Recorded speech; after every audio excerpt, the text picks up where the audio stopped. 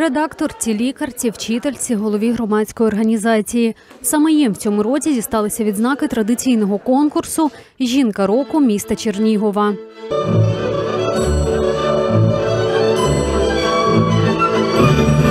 На ці відзнаки їх висунули трудові колективи у такий спосіб, відзначивши їх професійні досягнення. Наприклад, пані Олена очолює асоціацію майстрів, і саме колеги оцінили її роботу як керівника, висунувши на конкурс.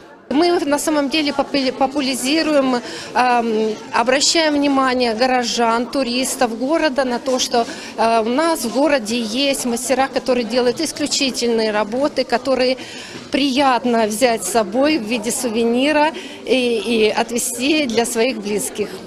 Відзначати жінок у Чернігові спеціальною нагородою почали ще у 1998 році і продовжують це робити до сьогодні. На сцену за своїми дипломами за 23 роки піднялося 193 жінки. Свою відзнаку цьогоріч отримала лікарка-інфекціоністка Тетяна Семешко.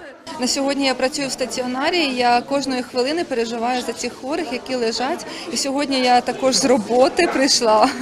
І після обходу я прийшла сюди і піклуюся, що буде е, завтра. Сьогодні ввечері ще піду і буду піклуватися далі про хворих.